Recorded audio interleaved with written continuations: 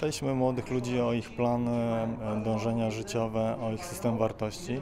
Okazuje się, że ta hierarchia w systemie wartości jest dość stabilna od wielu lat, w zasadzie od początku lat 90., kiedy monitorujemy tę kwestię, czyli najważniejsza jest miłość, przyjaźń, udane życie rodzinne, a potem kwestie zawodowe, czyli żeby mieć stabilną, satysfakcjonującą pracę przynoszącą dobre dochody.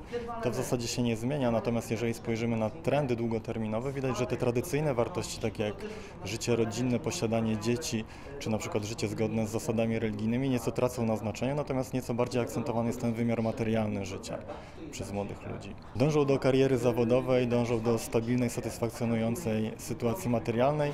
To życie rodzinne oczywiście e, ciągle jest na pierwszym miejscu, natomiast tak jak powiedziałem, e, te kwestie materialne nieco zaczynają się e, przebijać. Widać, że są świadomi tego, że sytuacja na rynku pracy w Polsce się poprawia, w związku z czym ich oczekiwania w tym zakresie rosną.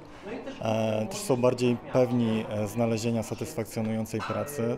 Twierdzą, że to ich kompetencje, ich e, inteligencja, umiejętności przede wszystkim decydują o znalezieniu pracy, a nie na przykład znajomości i układy, tak jak to było jeszcze kilka lat temu. To był wtedy decydujący element, który zdaniem młodych ludzi sprawia, że można znaleźć pracę. Obecnie bardziej stawiają na siebie, na swoje kompetencje i okazuje się, że są jakby te, też pewni tych swoich kompetencji, na przykład znajomość języków obcych. Tutaj widać wyraźny trend wzrostowy w, w porównaniu z początkiem lat 90. 90. prawie dwukrotnie wzrósł odsetek młodych ludzi, którzy deklarują e, znajomość języka obcego pozwalającą komunikować się swobodnie z obcokrajowcem.